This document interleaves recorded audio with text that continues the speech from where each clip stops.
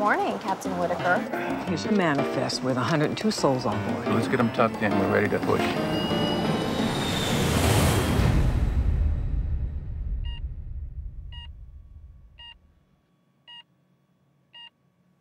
How you feeling, Whit?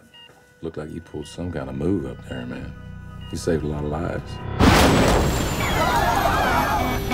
We are in a dive. I have no control on my side. We going down? Everybody in brace positions.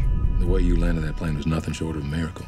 I see nothing but houses. Evan, listen to me. Trim us nose down. Plane fell apart at 30,000 feet. We're gonna roll it. What, what do you mean roll it? Ready? Here we go.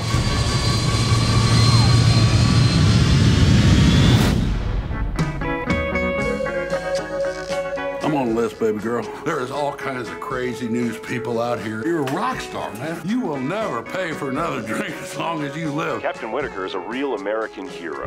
This is Hugh Lang. He's an attorney from Chicago. Why do we need a lawyer? You don't remember having your blood drawn the night of the crash? You had alcohol in your system. That could be life in prison. The NTSB hearings in 10 days. They're under the microscope right now. Are you hiding something? You gonna shoot me? Can I come inside? Yeah, come on inside. I'll shoot you inside. This was an act of God. Those God would do this. Our investigators concluded the aircraft failed. The FAA placed 10 pilots in simulators, recreated the events. Every pilot killed everybody on board. You were the only one who could do it. You saved my mom.